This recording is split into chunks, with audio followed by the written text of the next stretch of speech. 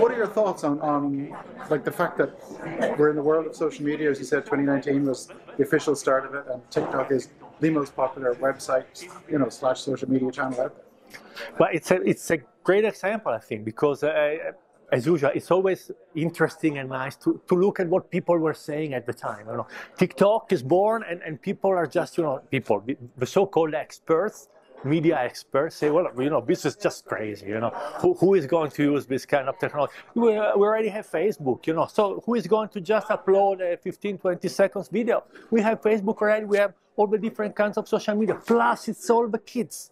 Can't you see? It's all, it's all a big game. Nobody will use it.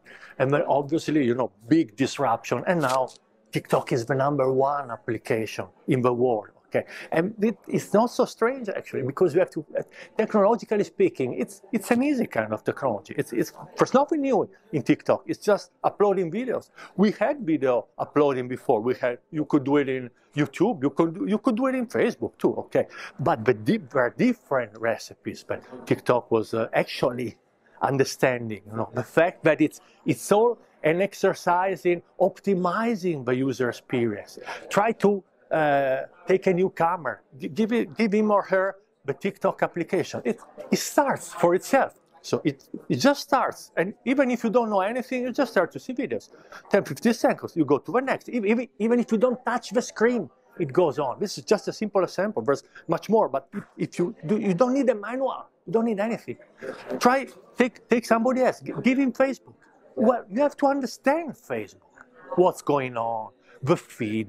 You have a various directions that you can take in navigation. It's, it's a different world of complexity. So TikTok was, you know, destroying the wall of complexity. That's what people couldn't understand at the time. You, you, you can measure this too, but intuitively, we were destroying the wall of complexity. It's so easy to use TikTok, and people appreciated it. That's why now you, you have this mass adoption of uh, TikTok.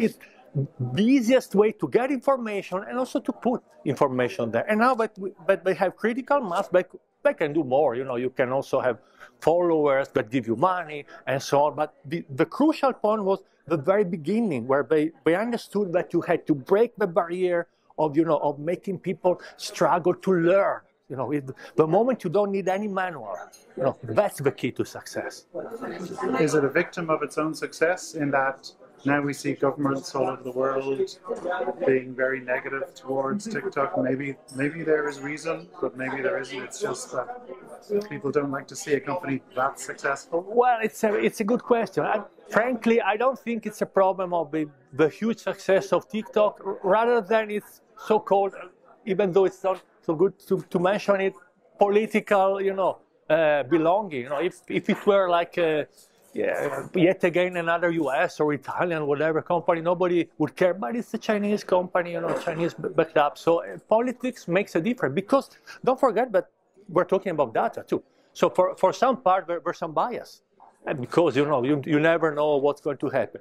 To, to, to some extent, but there's also some reasonable concern because it, it's all information. It's privacy of the people. It's data. It's you know personal images and we, we are still in that, you know, uh, nebulous time where we, we haven't really a clear and definite situation where, where the data is going, what, what the people are doing with the data. And so it's, it's, it's the number one most successful application in the world.